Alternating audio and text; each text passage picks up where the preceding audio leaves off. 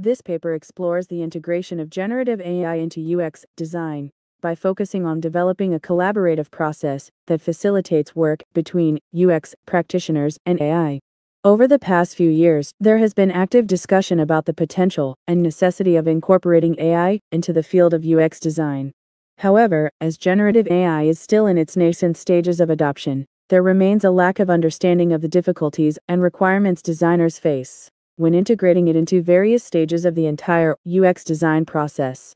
Therefore, this study proposes a UXer AI collaboration process that can be integrated across the entire UX design process, comprehensively identifies the factors that hinder this process, and discusses strategies to mitigate UXer AI collaboration barriers, ultimately enhancing the feasibility of using generative AI in UX design practice.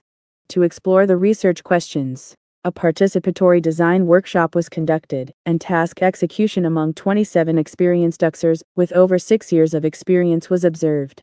Focus group interviews were then conducted in smaller groups of seven to discuss the challenges and requirements when collaborating with AI.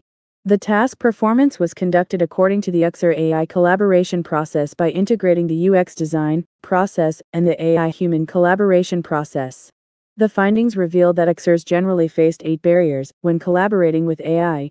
These can be categorized into three groups. Among these, it was discovered that the root cause of the most critical barriers lies within the UXer AI collaboration process. The existing process, which produces unverified, repetitive answers, leading to concerns about data reliability and hallucinations, and complicating decision making. Therefore, this study proposed a UXer AI collaboration process focused on the initial stages to enhance reliability by adding verification and decision making stages to the existing process. The newly proposed process consisting of input, generation, verification, and decision making tasks is structured differently from the previous two stage process, allowing for the sequential execution of these tasks. In the generative mode, the same tasks as those executed by conventional generative AI are performed. And in the verification mode, three types of verification tasks can be executed.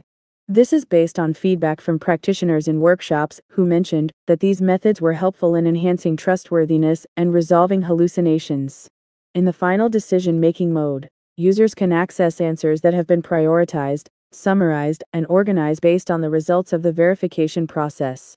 The outcomes of this study offer design implications for UX design specific AI systems, aimed at improving the UXer AI collaborative experience. Thank you for listening. If you're interested in learning more, you can download the full paper and a copy of the poster via the QR code on the bottom right.